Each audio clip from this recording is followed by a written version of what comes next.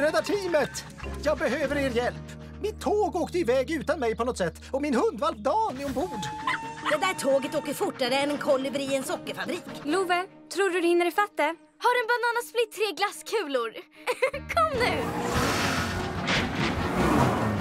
Nästan där.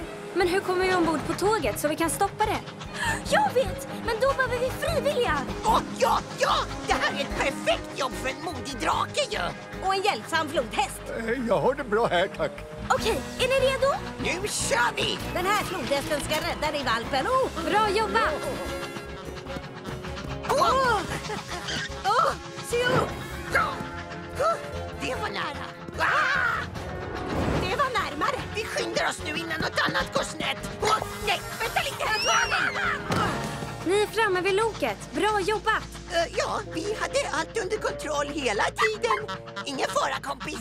Djurräddarteamet är här.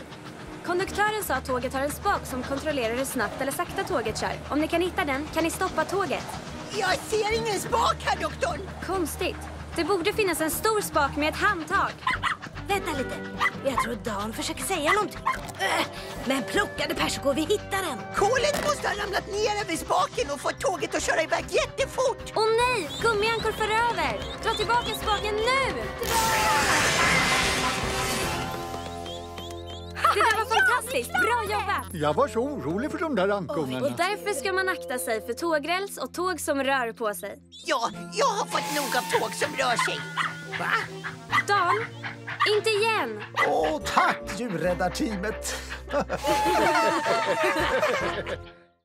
Se Dr. McStuffins på Disney Junior.